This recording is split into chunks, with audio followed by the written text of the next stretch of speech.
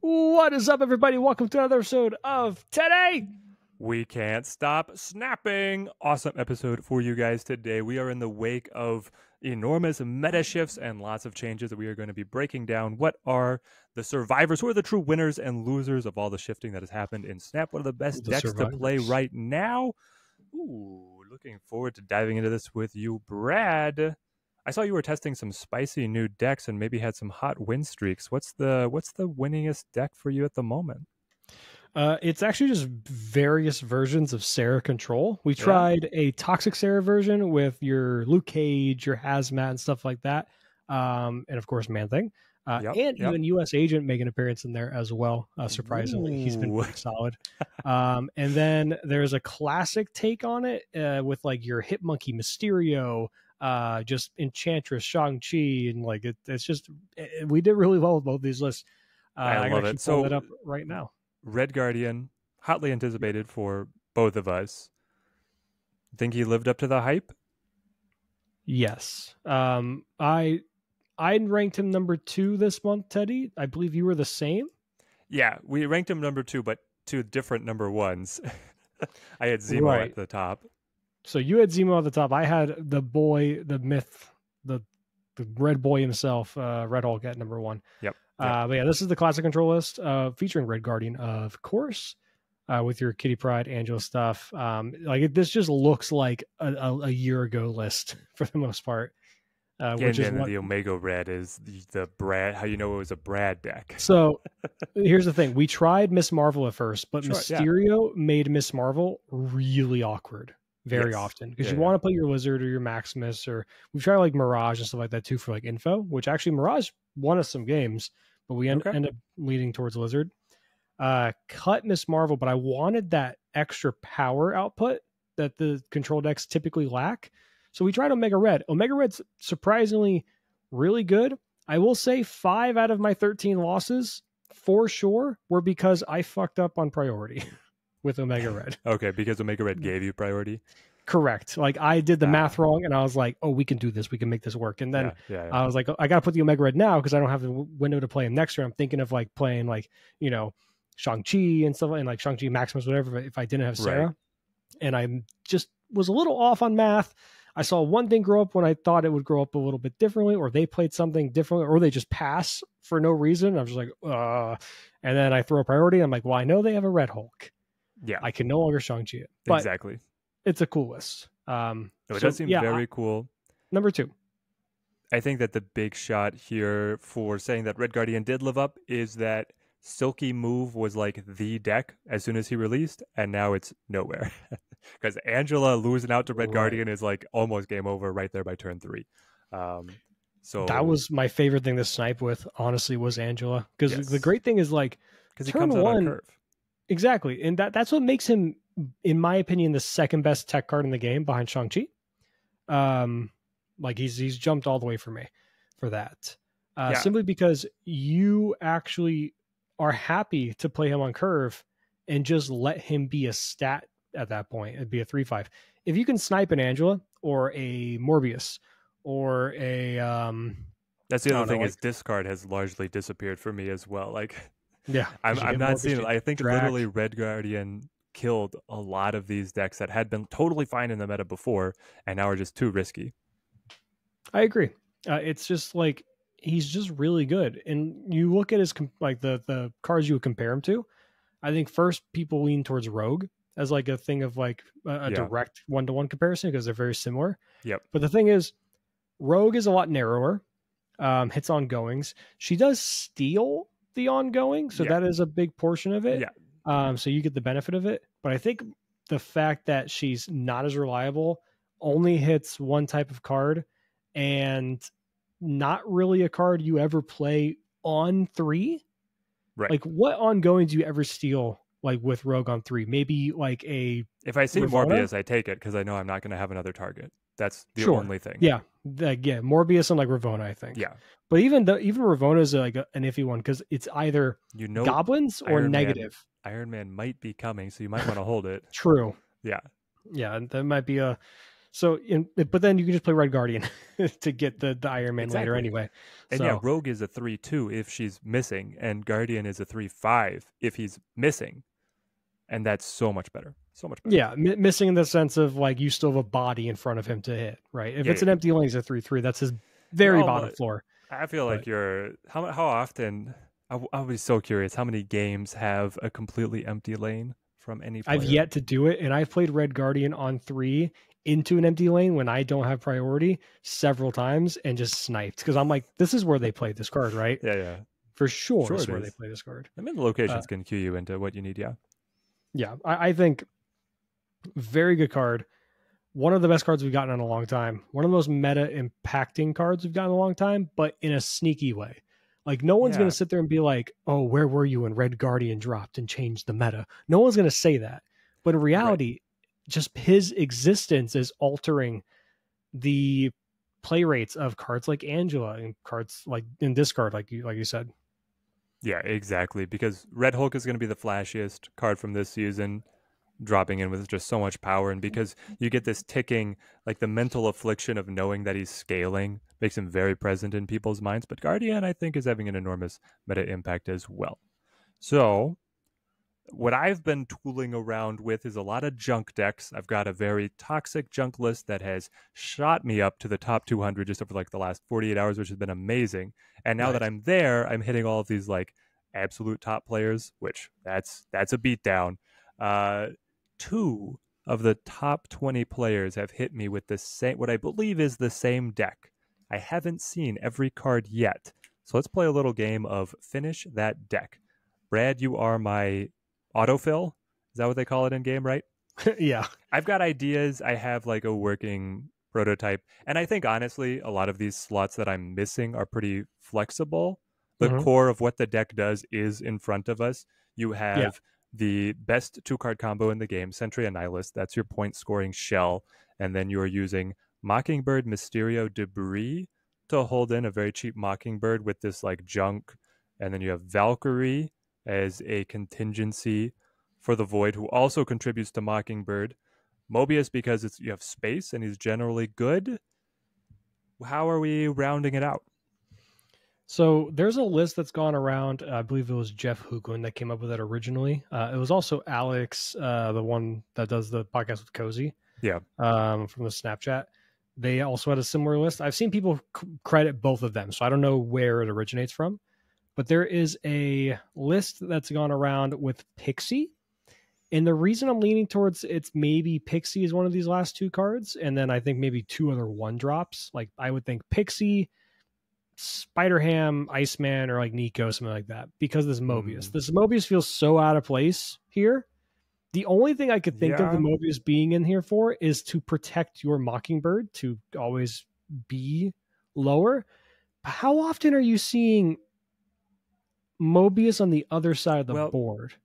Wait, So what I do see a s- decent amount of Renslayer and negative decks. It could be kind of responsive um, to something in the meta. And that could also be like one of these players' tech choices. Is they're like, "Ah, I got extra spot. I'm going to run Mobius. Mhm. I Right. mean, it, I honestly, looking at like those three empty spaces, Red Guardian is definitely making a play for belonging in one of them. Now, if you do the pixie, I understand three you want to bring the one uh, three three cost makes me a little sad, but yeah, I can see Red Guardian. You also have Hazmat Luke Cage, Yep. and then if we want to just shift everything into basically the deck that I'm already running, you go Man Thing. There's a there's also maybe Patriots in this. Patriot could be you are putting down Demon, If you yeah, the two demon Mysterio, Mysterio, Illusions, two rocks. rocks. Um And then And you then actually have the that- void. If you pick the void Yeah, up with if you- Valkyrie, it's a Valkyrie valid target. yeah. that they won't expect that you Yeah. Valkyrie the void. And it's like, haha, he's a uh, a, a five power now. What if that's a 15 power swing there, Teddy? Yeah. Okay, I okay, I'm kind of into the Patriot idea a little bit. Um, Okay. uh, I don't think it's Patriot, but it No, seems really it funny. Be. I mean, why not? Uh, I don't know what else you would run, like maybe Squirrel Girls in there. But I'm I'm Oh, surprised no, you haven't no. seen Squirrel Girl. She she would be in. You'd see her. Yeah, I think that's like Patriot. almost too much board spam. Then also cannonball always makes sense when you've got debris. Yeah, sure. Um, red Yeah, th- goblin or sorry, this green is goblin. this is the uh the, This the is your list, by the take? way. the the one that I was thinking. No, not my take. It, this is the one that's actually going around. okay, yeah, yeah. Uh, I some people seen this cutting- one. some people are cutting Polaris for Red Guardian. Now. Makes Uh, I'm one of those people that have tried it. I'm actually six and zero with this list uh, with the Red Guardian replacement Mm. in Conquest. I've gotten two straight Hey, golds. Nice, nice. Uh, but for those in the audience and uh, for those that watch this later on YouTube or Spotify, it's not because of this girl here. I would say maybe one out of every. audio listeners. Yes, I'm sorry, audio listeners. Pointing at Pixie. Thank you, Teddy. It's not because of Pixie. I would say one out of every conquest um, battle, like each like between for rounds, like one round every total battle, she has an impact. Where I could say I won a, largely in part of what Pixie did. Um, I was telling you before we started, there was a game where I got someone down to the last two cubes. We were in double Olim on stream today, and uh, they were playing like a uh, a zoo deck. They had no Shang Chi in the list. Oh no. And on turn three, after playing Pixie, I played Nico, uh, who had the copy spell Yep. on, yep. into a one cost Red Hulk. and I just the second Lights they out. flipped and that Red Hulk copy added to my hand, I just see opponent retreated, Yep. gone, game Gone. over. It was so funny. Oh, that's so good. Um, but you don't win because of Pixie more often than not. It's just again, you already said it, Teddy. The deck that you're looking at here ha- already has one of the best one-two punches in the entire game. I mean, if you wanted to, this is the best trifecta of cards I think in Snap, and I don't think it's really that hard to, uh, you know, argue against or um arguing for. I guess. yeah, no. Hood, Annihilus, and Sentry, Yeah. might be the best package we've ever had in the game. It scores very reliably. The Hood and Sentry have like countermeasures even if you don't find a Nihilus. And the huge kicker is that you're done by turn five. It's all affordable, and then your Right. turn six is open to whatever you want. If you want a big like six a cost giant finisher, Red Hulk. or if you want to be able to squeeze in something quote unquote more affordable, like uh, you know, Legion Demon, one of my favorite enders. Mhm. really good. Which I think I Yep. might try Legion in this deck too. My You- 1st you're pick gonna- here I'm gonna rock Green Goblin, Legion, four- Shang-Chi. Four or five costs. Mockingbird know- is not a five cost. Okay. Well, uh, question for you though. Yep. When White Widow inevitably comes out Yes. uh, next week, are you dropping debris for her? I would probably drop something else. I would love to have Debris and White Widow. Hmm. See, I hate debris. What? I hate debris. Why? I hate her as a card. I, hate I- uh, my board space is precious. Let me only deal with like mess with your okay, board so space. someone in my Discord was like, run Carnage. Because then you can kill a Yeah, Mysterio I- I- Illusion and a I've- Rock and the Void. sure. I guess uh, you can you can do that. But like But in this deck, they I was playing the yeah. same same game with my with my Discord. Oh, okay. Yeah, I mean, you could. Uh, I kind of stopped. Like, I, I remember like three seasons ago. Um, I wonder if it was was it before Annihilus came out or the season Annihilus did come out. I was running a um a Carnage in my junk list. Yeah. Just as a backup plan to like kind of weave into the final turn Right. because sometimes on turn six, like if you've already a Nihilus on five, or whatever, you draw Sentry late and you go, okay, I'm just going to Sentry, you know, Carnage, right? Um, was always fine. I just, it always felt like, God, this should be something else in the deck, you know? Like, do you know what I mean? Like, it works and it has its functionality, but I just wish it was something else almost every time, even when it was doing its job. I guess. it- yeah. It felt like it wasn't the best thing to be doing. It's. I mean, no. The best thing to be doing is a Nihilus. It is a very funny pull for Baron Zemo off the opponent, which would be uh, the destroy Baron Zemo when you hit mill is crazy. Um, Right. right now, yeah, I want to try this deck, but I'm at the same time very enamored with my more hazmat toxic focused one, which can get the negative power on the rocks, and then Annihilus throws the rocks. So it's basically just playing old Annihilus if you hit that combo, which is oh so much fun. Yeah, and Lloyd says Carnage is also a very funny Baron Zemo pull from my Exactly, opponent, like- exactly. just like you said. Yeah. Uh, and by the way, everybody, uh, we are having our first ever public live episode to where free members of Patreon can join in.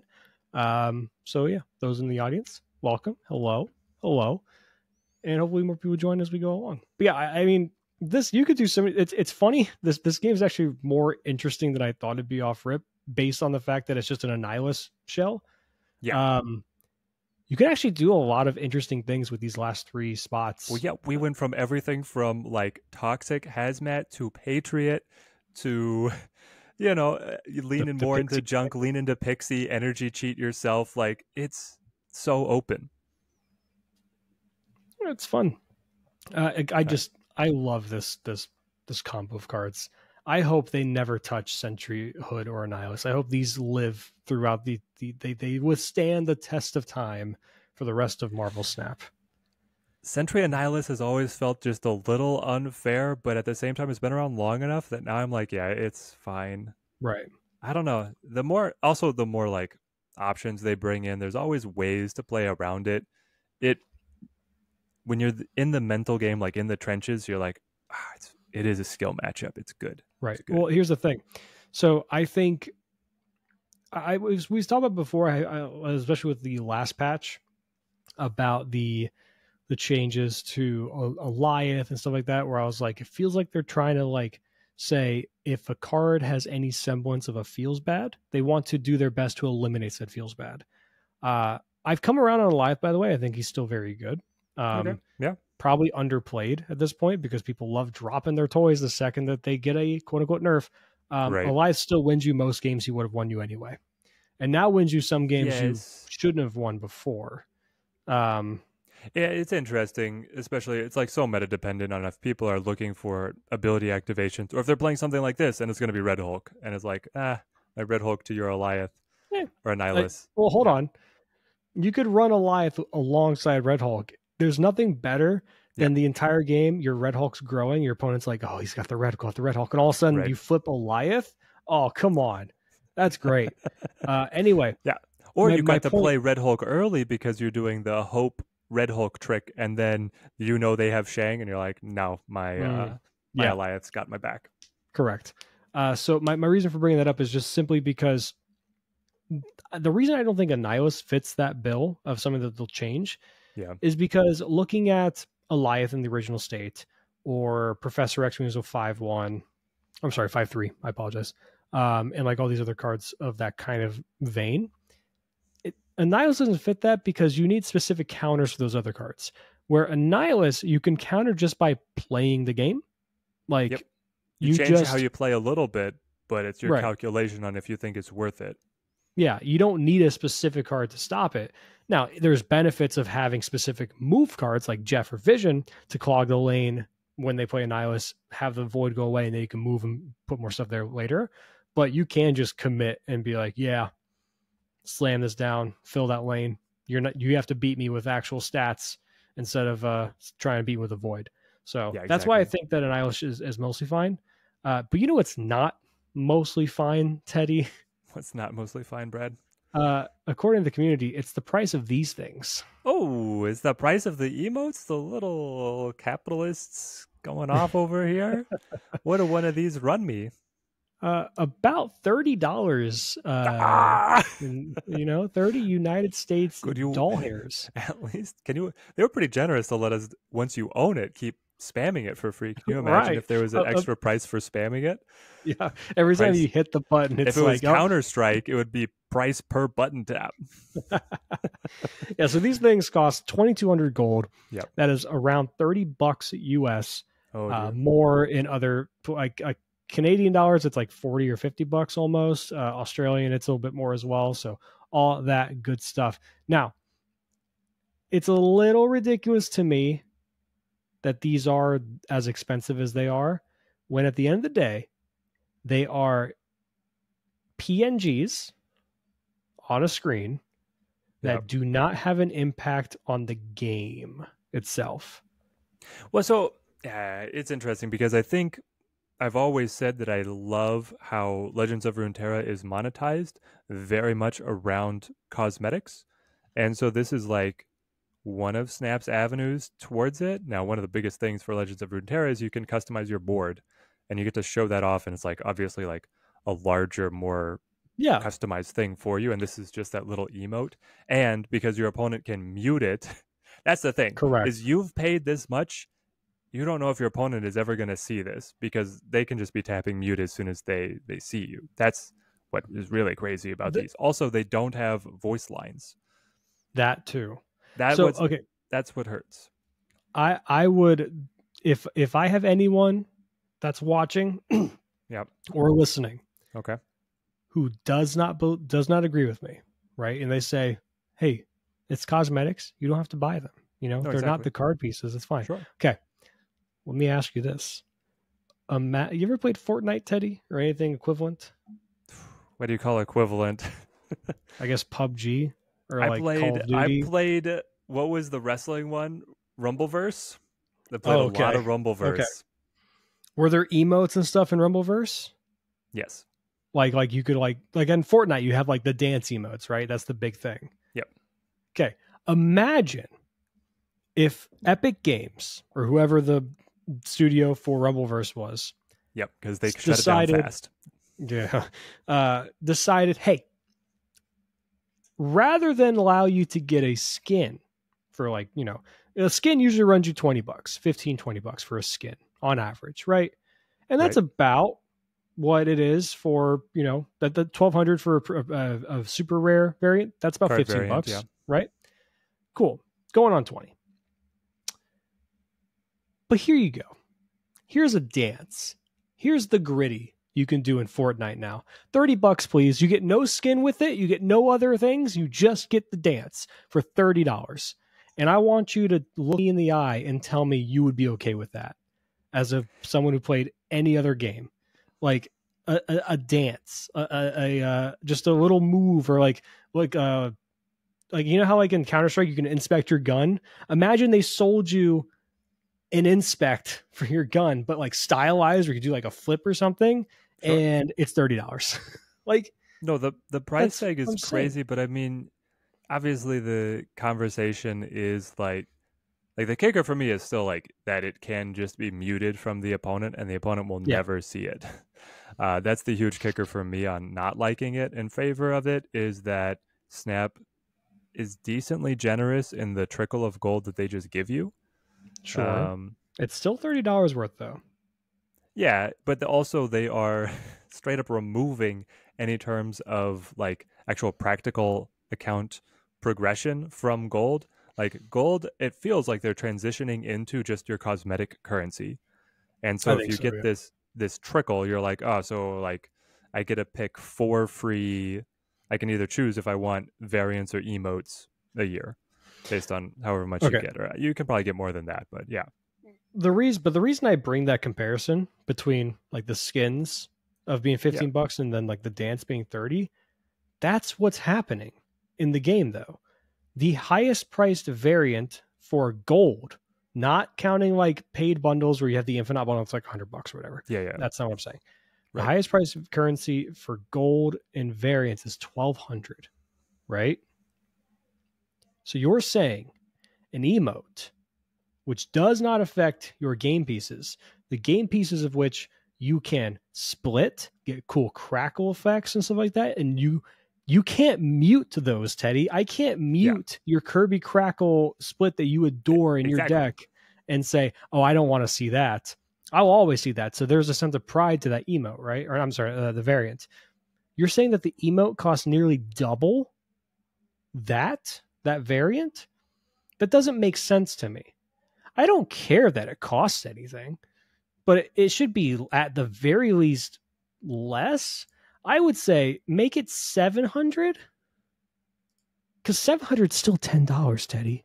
700 I know it's still ten $10. dollars, but at the same time, Brad, there is an element of like they get to create this whole um, economy themselves, right? It's a fictional economy with their own premium currency, Mhm. and so having them be expensive means that people, when you pick something, you know that not many other people are going to have it, and then if you show it off in game, you know that not many people are going to see it unless they play you. So there's like an element to that that I Yeah. do find appealing. Uh, Lloyd Gets Annoyed brings up that you do get free emotes by progressing through the albums, but a number of these that are now in the cosmetic shop are exclusive currently to the cosmetic shop. We don't know if they'll be introduced in other ways. Um, and I guess that is the optimist way of looking at it is that this is just the early wave, kind of like Nexus events, and then they're going to take feedback and bring it, weave it into the economy and other more Do you think they'll ways. ever lower the price? No, but I think that there will be more free ways of getting it. I was gonna say like I guarantee you something is going to get added to the conquest shop consistently to be able to Mm. buy um and then Yeah. maybe find other ways to work this into like caches and stuff like that. it'd be cool if you could pull one of these into cache. That'd be great. Also, what would so you we're talking about how you could like split stuff. What if you could split emotes? That'd be sick. Like an inked emote would be cool.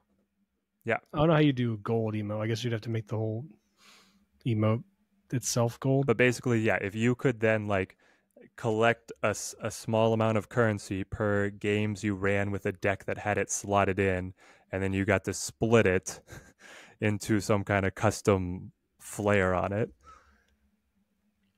Yeah, and I mean the the thing with the albums though, it's like you can at least progress for free technically through Yeah. the albums just by, you know, playing the game. Eventually you'll you'll get all those variants at some point, whether you Right. buy them or pull them.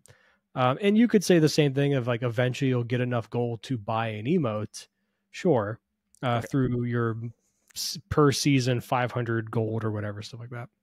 Another thing for you.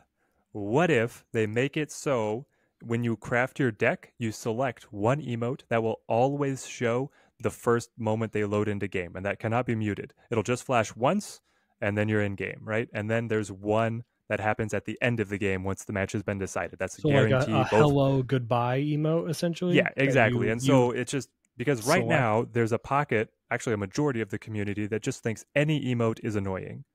But if both sides just choose one that will only appear at the beginning and the end, I think then it kind of normalizes it and you get to show off these emotes. And you can choose to mute or spam in between however you want. yeah, I think that's fine. Actually, Also, would love that. I uh now okay. This this we're getting we're veering off a little bit, but I have to Yeah. ask you this because I've thought about this a few times. Okay. What do you think about emote reworks? Reworking emotes? So, uh, so what one thing I'm thinking of is so you have this Agatha one coming out in June, right? Mhm. And this Agatha one here, let me zoom in a little bit. Oh no. Uh, you going to get looks demonetized? Careful. Uh, looks like a ruder version of Miss Marvel, right? It's a more aggressive wink. It looks way more sarcastic. The thumb's pointing at you now. Like I feel like this is more toxic than Miss Marvel, right? Okay. So what do we need Miss Marvel for to fit that void? Especially when they wanted Miss Marvel originally to be like a good a good game thumbs up, right? Like it, they meant it like they wanted this to be a cool thing. So like what if they just took away the wink? What if they just reworked her and they got rid of the wink? Both eyes are open. I really think the wink being think- gone would actually make her seem way more wholesome. I think that instead of giving the thumbs up, which can be taken as sarcastic or as True. your PG middle finger, What she about high needs to be like, yeah, uh, that's like a stop though. She needs to be like giving you something. Like, what if she's offering a flower or like some little trinket? Mhm. You know, Right. Because the thumbs up does feel like a middle finger. Yeah. In, in its current form. I do think a wink goes a long way with that, though, with to add the sarcasm. sure, yeah, yeah. Um, I don't know why they thought the wink was a good idea. Actually, now that I'm thinking about it, I think the artist just like playing with her lashes. yeah, probably. Like if you just, I don't know. I mean, I guess if you you could do like something like the fist bump, where like she's doing a high five and like there's another hand she's high fiving. You know, That's I- the next thing. That's the next level. Is you move the emotes to be close enough to each other that you have interaction emotes. Yeah, I like that. yeah, I just like uh, like imagine you rework some of these. Like, okay, like th- this this is a great one for the hello, the Mister Fantastic hello. Um, like there's a lot of these that are gonna, I think, be wholesome. Um, Devil Dino.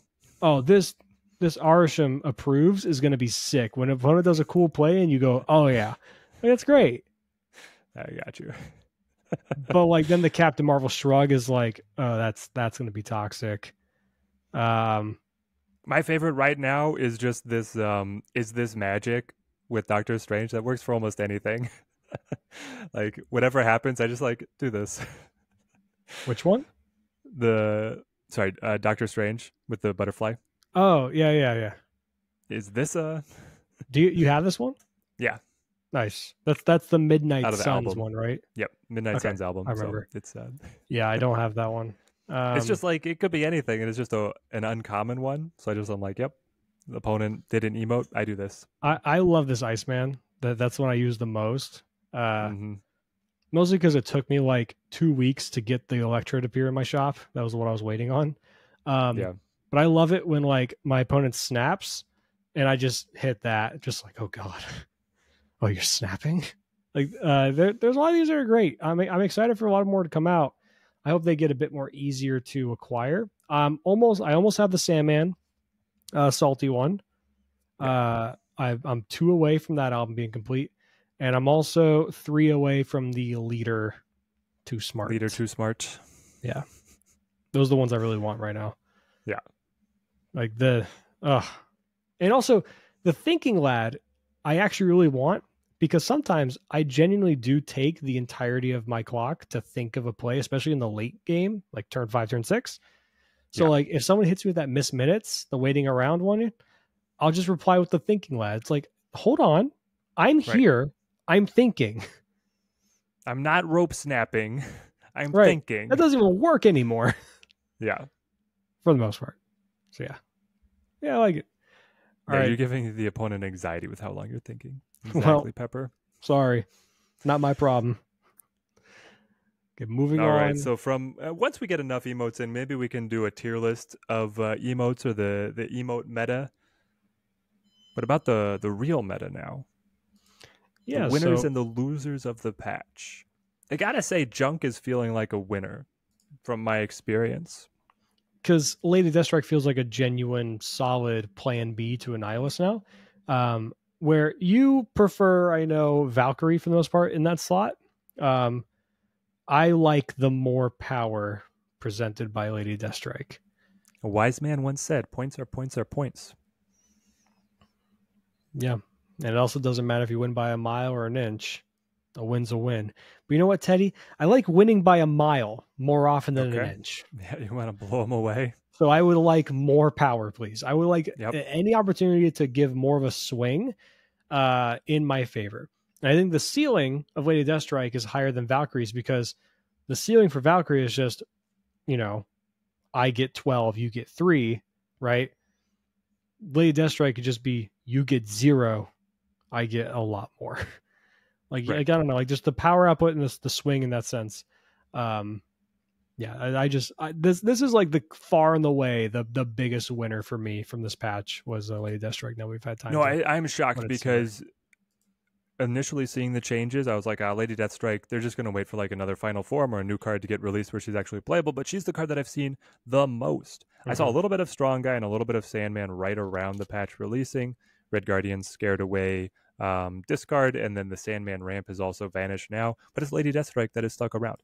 Um, and I do love it. I'm seeing her more often in decks that are not destroy decks, which I think is really cool. yeah. Uh, I just wish. I don't know. A strong guy, I feel like should show up in more stuff. Uh, let- let's backtrack. Okay. Biggest loser, right? Zabu. Is Zabu by far. Yeah.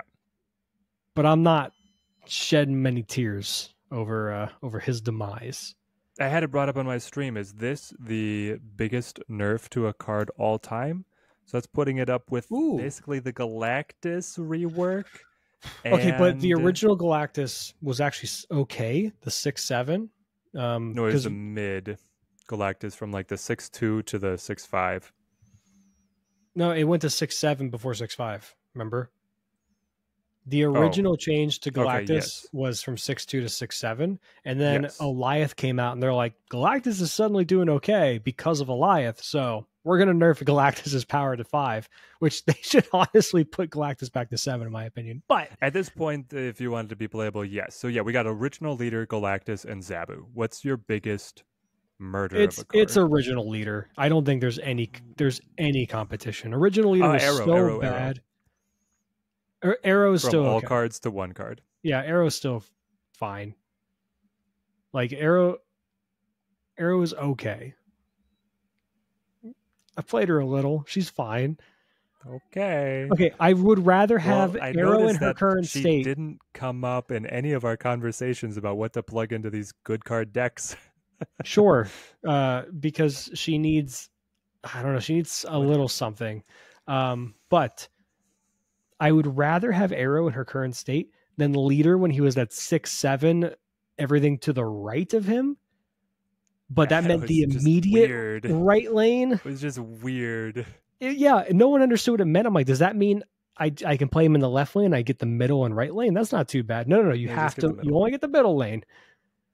I, I think it's original leader. I, I think right. Zabu at least has the ability to still ramp into your combo ish pieces like Wong, um, or whatever. Um, That's or also you know, with the, Wong. the content creators went into this saying, "Oh, we got on reveal synergies now, baby. I can craft a deck that will make because there's no minimum one free four cost cards on the Yeah. final turn." And they were able to do it. Obviously, it's not going to be competitive, but the on reveal synergy means that there is some niche uses. So do you think we we, uh we, we talked about this before about Zabu going up to five? Do you think a five four five five on reveal minus two is uh something we could consider? Oh, yeah, it's just like an alternate Sera, basically. Instead of everything, it's only four costs, but it's a much more, it's a much more dramatic discount. Correct. Yes. Yeah. I, I like that. I I mean, what if I mean, listen, make him a four cost, lower power, four cost that discounts four costs. There's just something By about that what? by two On review or ongoing? ongoing. Uh, I'm a little wary of. uh, Come I'm a on. little. I'm a little wary of it. A little Come on. wary. You know s- you'd love it. A little. Nope. A little scared of That, it. that, that means that you could go back to your. I mean, it is it's dangerous because then you just play Zabu into Sera, right? right. then you have one cost, four costs. And then one costs everything pretty much because the other stuff in your deck is two costs anyway. Right. That might be too much. I wonder if there's an elegant way to write a clause. I, I would just I would the reason I think five and on reveal um is a good But way to put it because yeah because then it's a direct competitor to Sera because now Yeah. you can't go wave into Zabu into Sera I guess you can go wave into Sera into Zabu at that point but you're you're putting a lot of work in just to just to get this, yeah. this No, just wave Sera reduction. into anything has never materialized as like a good deck. Right. So I I think I, I I also would love to see more competition to to Sera. I don't want her to get nerfed. I don't want her to change. I think she's great and she's in a very good spot and has been for quite a while ever since she went down to, from a five five to a five four. However, Especially with Mobius here, right? Now that we Right. have Mobius, you know, let them do some wild stuff with the discount decks. Give us some very different looks. And that minus two on a four cost was a very different look. Yeah, so I, I like that idea. Um, but if we look at the overarching meta entirely, the absence of Zabu has left a bit of a uh, an open season, so to speak, right? So since the last patch, which was on the 10th, our top play decks are this toxic Sera Surfer when- list. We have Silky When Smooth. was the last time we had such a wide open meta? It was like back before Thanos took over, I feel like. Yeah, I This think is- you're. I think you're, eh, also no Thanos in these. So like, let's let's run through real quick. So we have Yeah. one, two, three, four uh, different decks in the top four. So six decks. destroy, discard, silky move, and a Sera deck. Yep, hella negative. Uh, The fact that negative is good, I'm so happy to be proven wrong on that. I didn't think he was going to make it, but he made it. My champ. Uh, Loki in Shuri making a comeback because Red Hulk is just doing- good. Sure, you're doing fine. Um, because you have the ability to go a Hope Summers into Shuri into Red Hulk into Taskmaster now, which is pretty sick. Yeah, why not? Um, then you have Loki still doing pretty good. Um, some Junk. Red Guardian should be in there. You got Junk, you got Hela baby. Tribunal, you got Phoenix Force, you got you know just and then we get some repeating offenders. Galactus is in here. Electro Should Ramp not be. I mean, here. we've we've dropped off here, but I mean, just that clump that we saw at the top. We're still at four thousand games played. That's that's still a decent. You're still Yeah. likely to see these. What I find a little surprising is the high evolutionary missing as well. Like the big bads are gone. Yeah. Well, how is High Evo doing? Let's take a look. I think he's doing okay. Is the thing. Like I think it's a fine deck if you want to pursue it. People got caught up in trying to run US agent in it, and I don't know if that's really the way to go. Like just the Hulk drop, I feel like it's still fine. Yeah, and then this other one is doing Moon Girl stuff. The Moon Girl one is yeah, the Moon Girl She Hulk. I've seen this. It's it's it works. Yeah, but If they don't play Mobius. it works if they don't play Mobius. then there's this version That's so sad. Look at that. Zero average cube gain. minus one. Losing average cube. But these are also really small sample sizes. I'm like so people are just not playing it. confused. Okay, hold on, hold on. People are just not playing it. Suddenly, we're up to 0.35, 0.30. I know it's we're only at 270, 240, 260. Yeah, these are just unique flavors that like specific good players are choosing to use or not. Yeah, I don't know. This feels it Is feels is the filter weird. including infinite or is it only pre-infinite? it's uh including post infinite. So let's do It is just a post 100 infinite. plus. Just post infinite. The best one is Oh, plus. it's going to be all smaller sample sizes. oh. Uh, Interesting. So so far the highest one is this 0.28. Oh, what is It's only 150 games. So, oh, I mean, what is this? What is beautiful- this? beautiful thing. Negative 1.72 average cubes per game. Yep. It's running Jeff Negasonic, uh, Cyclops, Baron Zemo, Shuri, High Evo, Iron Man, Sera, Galactus, Thanos, Red Hulk, Death. You're just running the rules- High Evo just for the Cyclops? The rules of playing this deck is that you have to snap as soon as you start it. think- Clearly. Playing every big bad. Uh, if we did not including Infinite and just did the the journey, because someone asked, Okay. uh, it's more mostly the same, kind of just middle of the road. Yeah. meh. Um, makes me a little sad, but uh, otherwise, I mean, you could.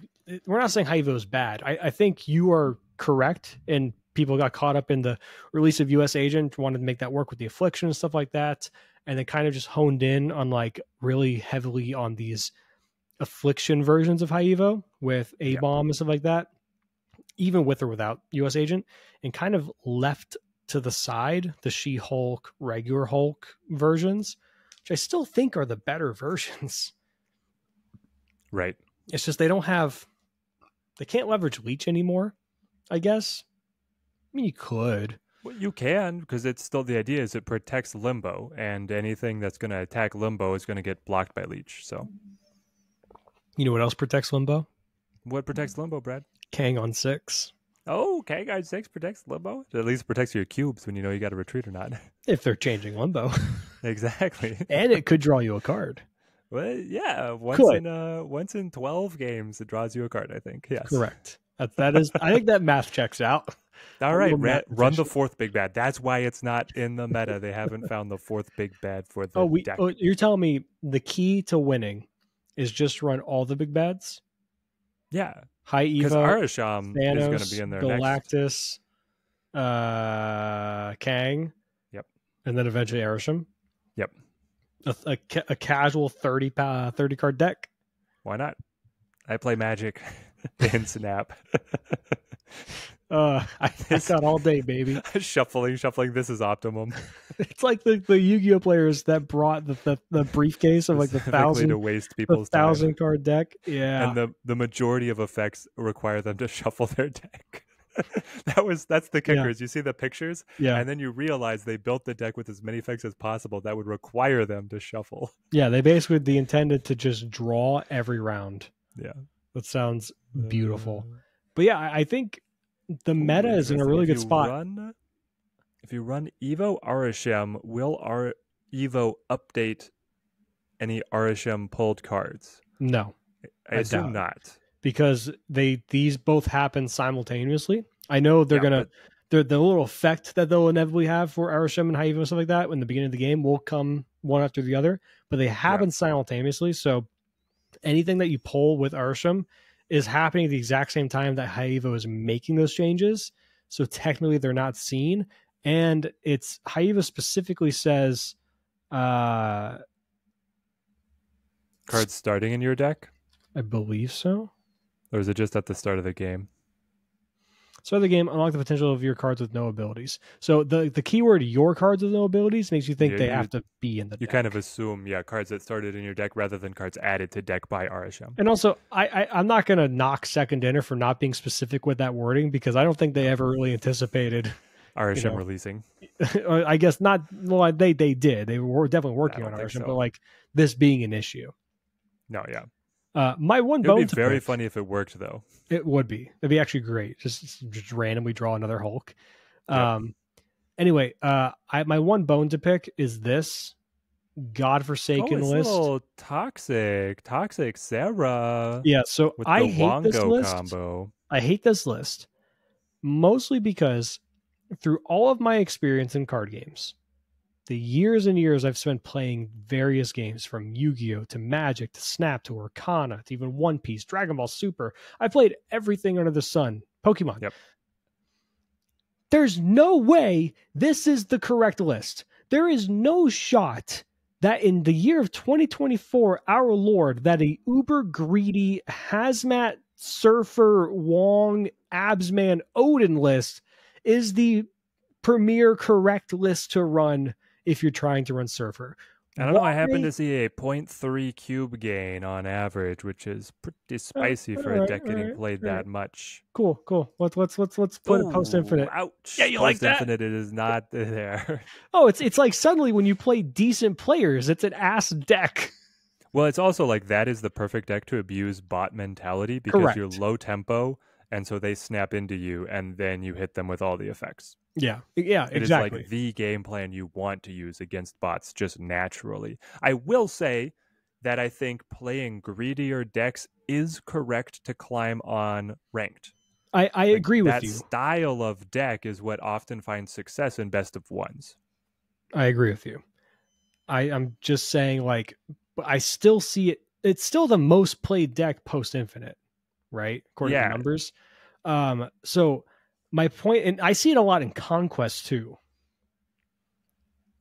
I'm sorry. I beat the hell out of this deck in Conquest. It's not hard to beat. It's really not. Um, I'm just like, do they have the combo? Yep. Okay. Do I have Luke Cage in my deck? Maybe. Or do I have Red Guardian to just turn off Wong? Or Lady Deathstrike to eat the Wong? The Lady Like- Deathstrike is brutal against this. Oh man. Or you Lady Deathstrike they set up Wong set up? Mystique. They're like, I'm about to turn on, and then Lady Yeah. Deathstrike claws yeah, to the it's face. like I don't care about. Like it's just, uh, how do we go from the nice thing of play Sera, play your Brood and your your Silver Surfer, and play Shaw? That's great, but you can also include Killmonger, Nova to have a counterplay and something that actually benefits from that counterplay to hit one drops. You can put Red Guardian in the list now. You know, you you can. You don't need to run Mystique.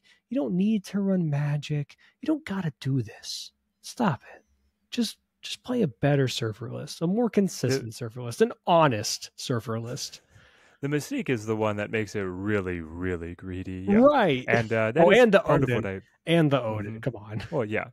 But when you're playing Wong with these kind of on reveals of Ironheart Surfer Hazmat, I understand where the Odin is coming from, and it will win you games. Um, I do think that this deck is going to fall off.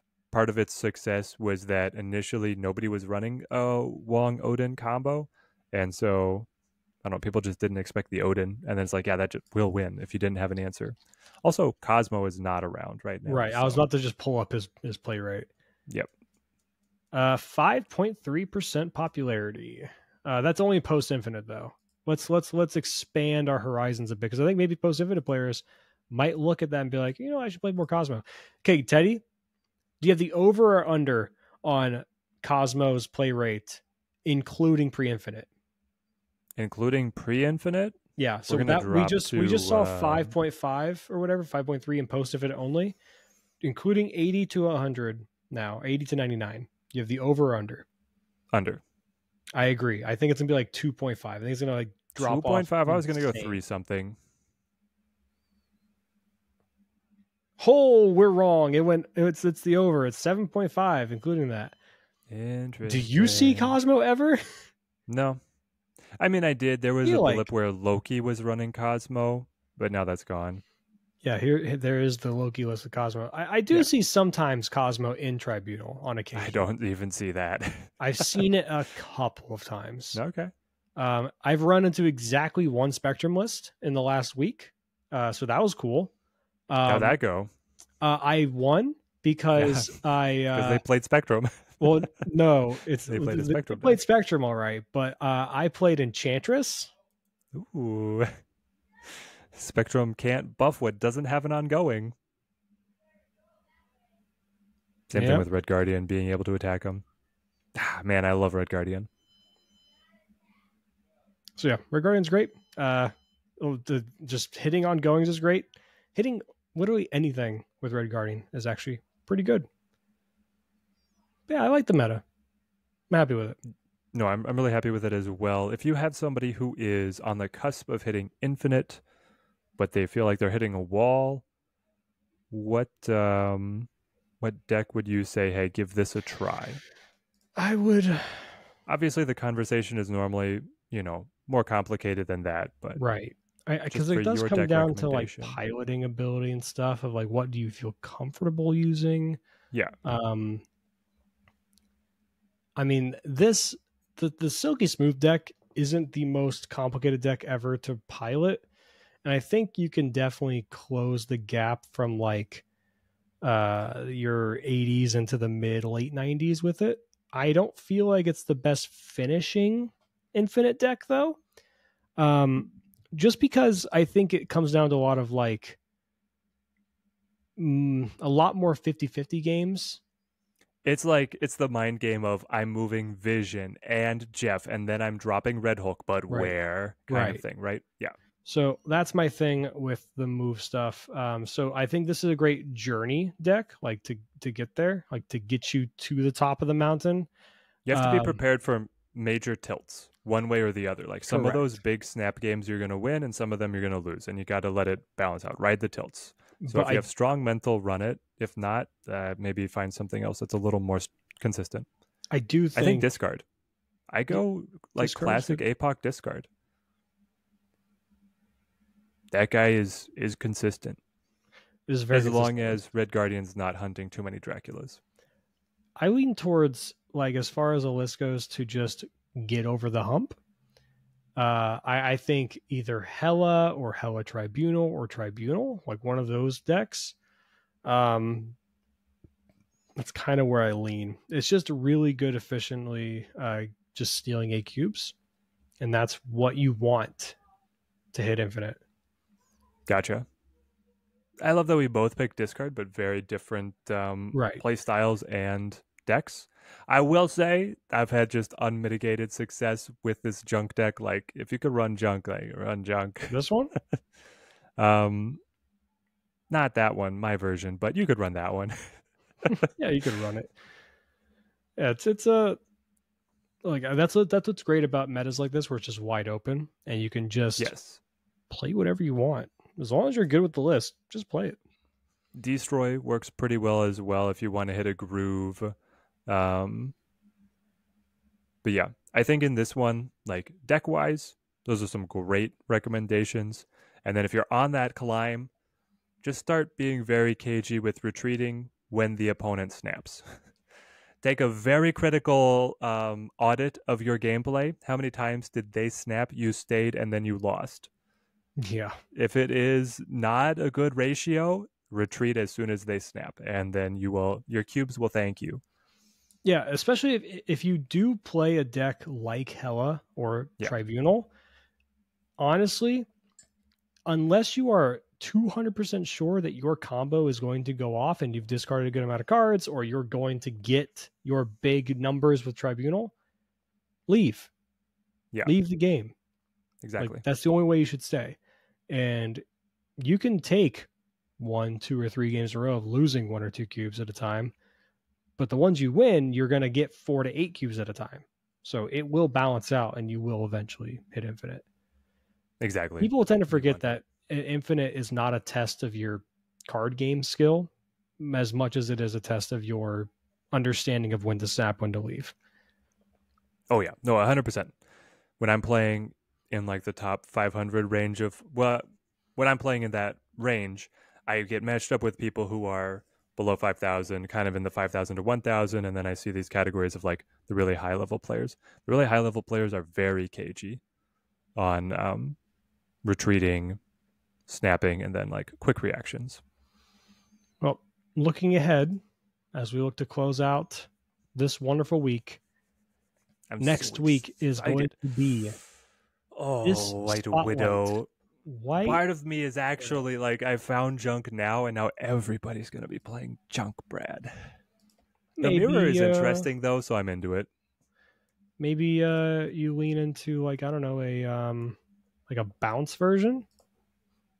I definitely want to try bounce with this because at the two cost, I mean, guys, getting taking away two portions of their board just guaranteed is so brutal, and you can still play Black Widow and White Widow. There's nothing stopping you. You can Right. use debris, goblins.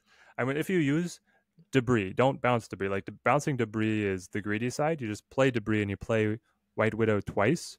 That's four spaces gone from their side of the board. They're playing with only they lost a third of their board to zeros.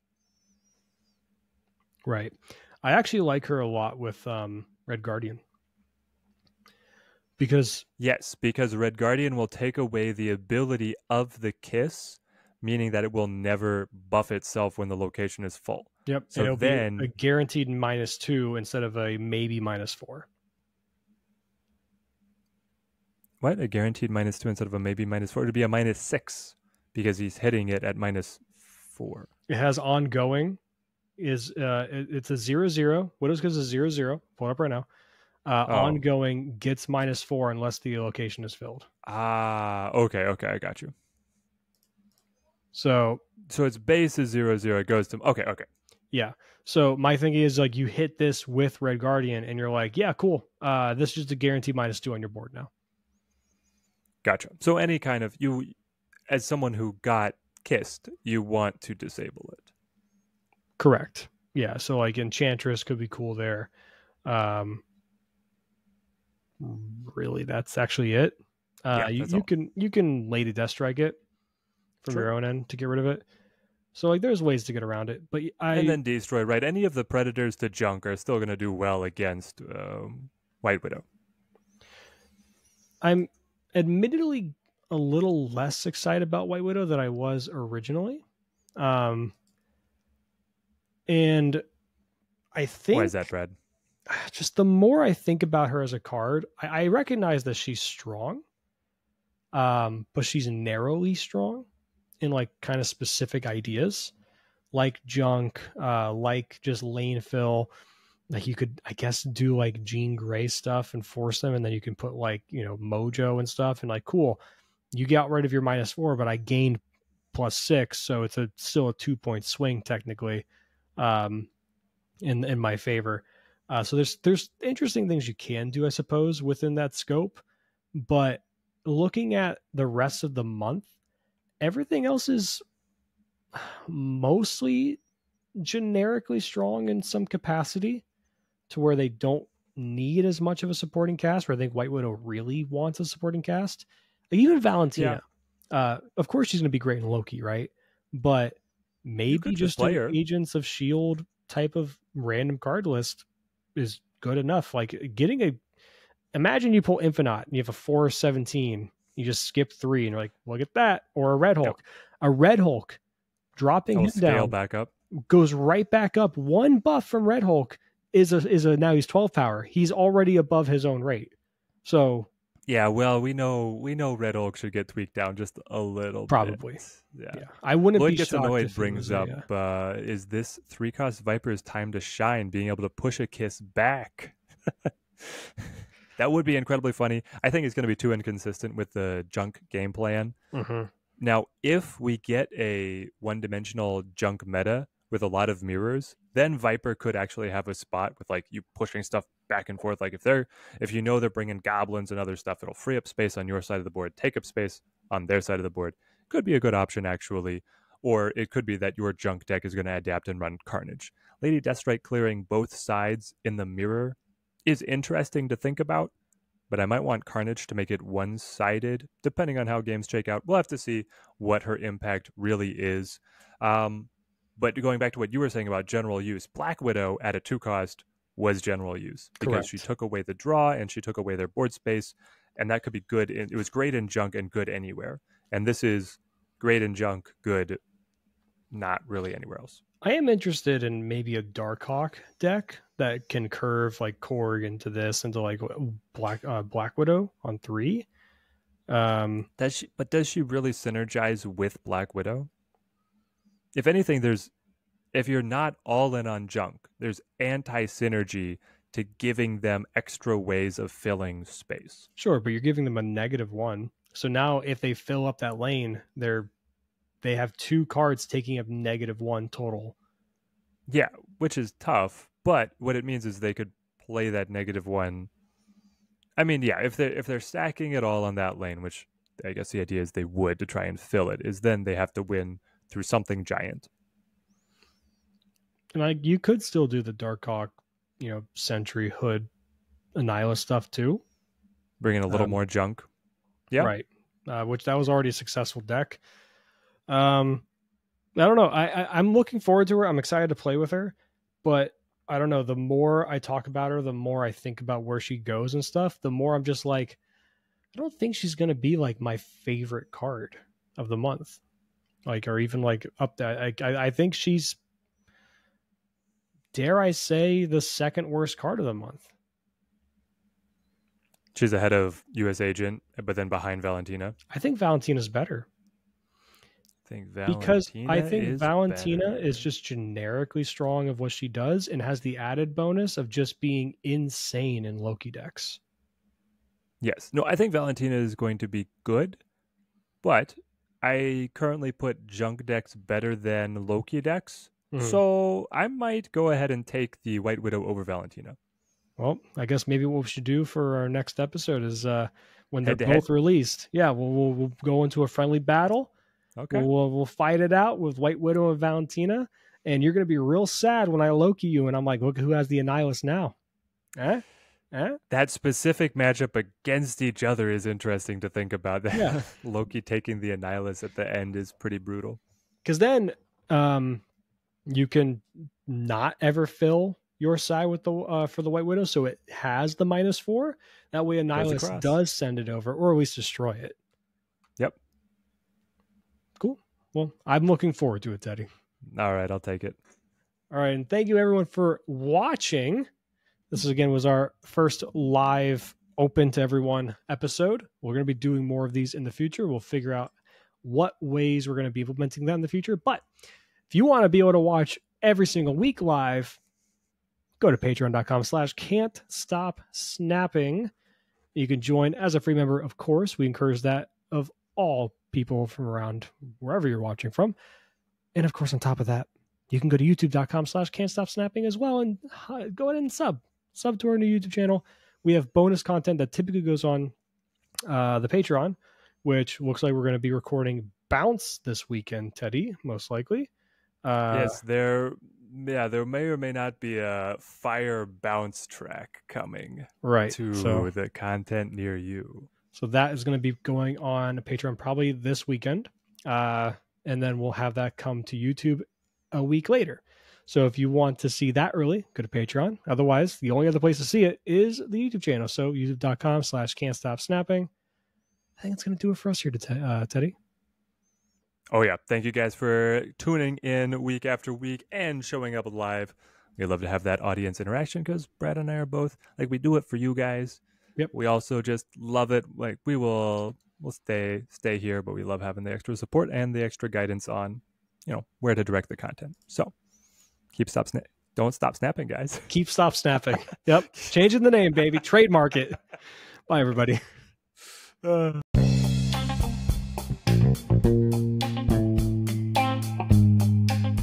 Can't Stop Snapping is a podcast hosted and produced by Brad Saffer and Teddy Ninja, originally created by Michael Thurman.